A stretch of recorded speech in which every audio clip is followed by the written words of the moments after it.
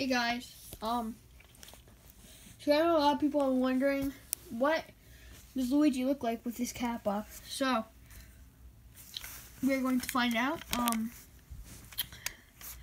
his hat is very uh, I take it off and on. So um, let's see what he looks like, guys. The camera's gonna get close up right here.